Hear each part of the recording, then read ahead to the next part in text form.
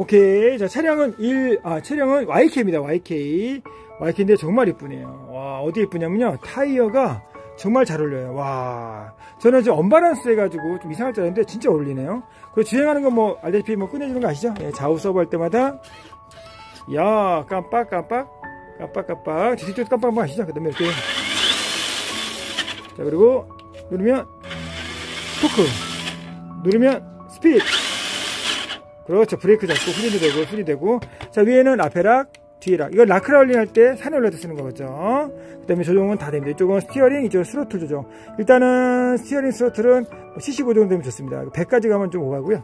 예, 속도도 빠를 수 있지만 배터리 많이 잡아먹어요. 그리고 자 기술 문의 구매 문의는 RC라이프 co.kr 자 010-5303-1297 RC라이프로 보시면 되겠습니다. 자 출고 바로 할게요.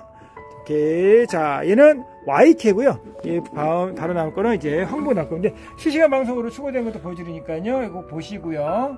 그 다음에 출고될 때마다 형님께서 궁금하신 점, 그 다음에 업그레이드 할 거는 말씀해 주면 되겠습니다. 아, 맞아요. 이거 업그레이드 했죠? 자, 보시면 안쪽에 보시면 skid. skid. 야, skid를 하셨어요. 타이어까지 하셨는데 skid까지 하셨고요. 자, 멋지네요.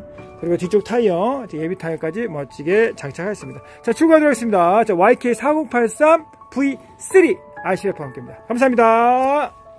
오케이.